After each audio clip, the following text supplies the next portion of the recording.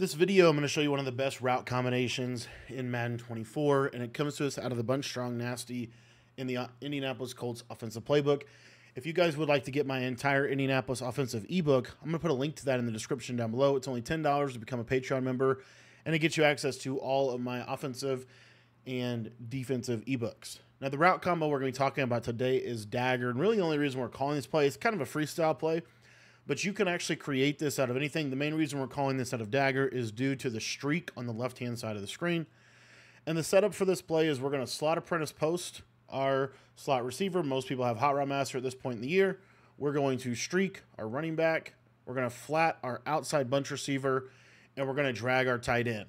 So what this, what the purpose of this play is, and what it's going to accomplish is going to create a three, a three level flood on the left hand side of the screen. So you're going to have a high low between your post and your tight end with a nice little peak clear out streak that I think is really effective. And then on the backside, you kind of have a check down between this little flat and running back streak. So uh, our first read here is always going to be this left side. We're going to look to throw this streak quick. As you can see against most defenses, you're actually going to be able to do this. One of the more popular uh, blitzes in the game at this point in the year is kind of the free safety zone blitz 3. A lot of people are running that defense kind of something like what you see on your screen here, and then this would allow them to maybe use the slot. So what we're going to do as far as throwing this, and just a little advanced tip, you can double team the nose tackle, We'll make that blitz less effective. But what you'll see here is if that safety on the left side goes into a deep third, there's this massive void where we can throw this right up the seam quick and be able to attack the defense. So it's a great little hot read. It's a great little quick read, especially for the way that the kind of general meta is right now in the game. So what a lot of people are going to do is they're going to play a defense that looks something like this. They might still send the blitz up the middle, but in general, they're going to have a yellow zone in that vicinity of the field. So if they do, then we're just going to quickly progress to our high-low between our drag and our slot apprentice post. As you see, this slot apprentice post gets in a real soft spot of the defense, and that slot apprentice post is going to need to be user defended. So what most people are going to do here is they are going to user defend the slot apprentice post, and they're going to take it with their this R1 defender. Now, another thing that a lot of people like to do is they'll back off this slot corner here on the right side. It's not super important for what we're about to show you here, but this is gonna what this is what it's gonna ultimately lead to this backside concept, which is essentially a read between the flat and the running back streak. So You'll see here they take the slot, and then we can throw this kind of in this back pocket against against the defense. Now, again, most people are going to uh, begin to start to adjust to this play, and so one of the things that they're going to do is they're going to start backing the slot corner off and maybe putting him in a cloud flat. This will take care of other combinations you might have from this playbook. And then you're also going to uh, see a user of the post if they do run the post across. So a lot of times what's going to happen is again, this flat is going to do a really, really good job of pulling this cloud flat to the sideline, and it just leaves this massive void where we can throw this route to the running back up the middle of the defense.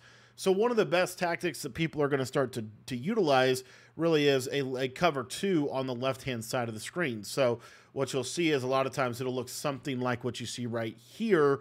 And then as you can see, though, this is going to present additional problems uh, for them because basically what they're going to have to ultimately do is really just play a shaded down vert hook, shaded out, shaded underneath vert hook. Because if they if they run a covered shell like this, we're going to be able to hit them up the seam. And if they run a covered shell like this, then there's not going to be a lot of pressure that they're going to be able to have access to. But anyways, if they do run this defense, let me show you what's going to end up happening. Ultimately, again, they're still going to have to take that slot receiver across the middle of the defense. So because they have to take the slot receiver right here, you'll see once he clears the vertical hook, you can actually throw that before he gets to the deep middle half uh, or to the deep half zone. So let me show you that one more time here. And again, like I said, a lot of times what's going to have to happen is this guy's going to have to be in a hook curl or a middle third, and then this guy's going to have to be in a hook curl. So they've got to have something to help them out in terms of their defense of the slot receiver and their defense of the of the solo wide receiver streak. So there's a lot they have to kind of think through and pay attention to. And really, this this is why this running back streak is so good. You see, he'll kind of clear that vert hook, and then I can throw that, you know, basically before he gets to the deep half zone. This play is also really good against man to man. It's one of my favorite plays in terms of just general, you know, a really, really good play against man coverage. I'll show you kind of what it looks like here. So if we do play man coverage, we'll actually send some pressure here. But in general, typically this guy would probably be manned up on the running back. This guy would probably be, you know, in some kind of zone. You know, but basically something like this. Now, chances are we will get some pressure here. So if we do get pressure, where are we going to look to throw? We're going to look to throw the tight end or this fade route off of a jam, right? That's another thing that you can do. So we'll just try to set up a little bit of a protection. And what you see is this tight end drag gets open over the middle of the field quick.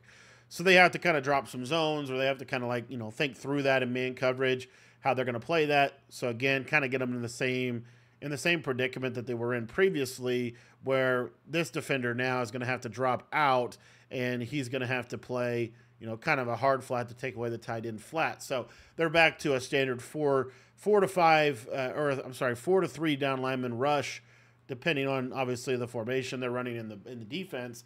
But in general, as far as man coverage goes, your tight end should win, your slot corner should win, and then what's really cool is this running back streak. You could just basically throw it away from the defender, and a lot of times it's going to just burn man coverage over the top. This play is multifaceted, very effective, can beat a lot of different defenses. And if you want the best offense in the game, my opinion, right now, it's either the Colts or the Jets. We have full ebooks on both of those playbooks in our Patreon, over 15 different offensive and defensive ebooks. If you want to get access to that, you can join the Patreon by heading down to the description and clicking the link down below.